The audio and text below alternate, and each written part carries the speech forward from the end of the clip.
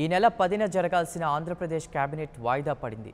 సీఎస్కు ముఖ్యమంత్రి కార్యాలయం నుంచి లేఖ పంపినప్పటికీ రాష్ట్రంలో ఎన్నికల కూడా అమల్లో ఉన్నందున ముందస్తు అనుమతి కోసం ఈసీకి రెండు రోజుల ముందుగా సమాచారం ఇవ్వకపోవడంతో సమావేశం వాయిదా పడింది.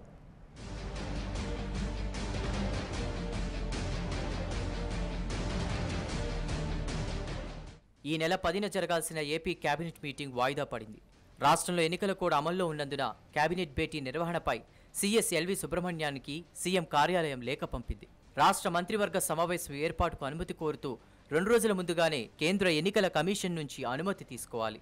ఏపీ సీఎస్కు లేఖ పంపిన సీఎం కార్యాలయం సీఈసీ అనుమతి కోరకపోవడంతో సమావేశం వాయిదా పడింది.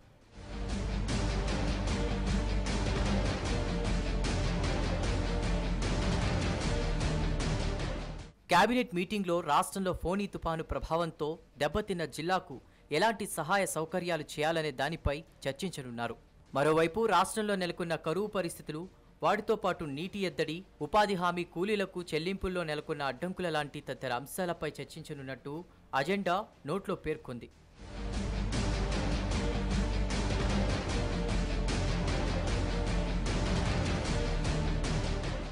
రాష్ట్రంలో ఎన్నికల కూడా అమల్లో ఉన్నందున ఈసీ నుంచి ముందస్తు అనుమతి లేకపోవడంతో సమావేశం వాయిదా పడింది. దీంతో ఈ నెల పద్నాలుగున ఏపీ కేబినెట్ సమావేశమయ్యే అవకాశం ఉన్నట్లు సమాచారం.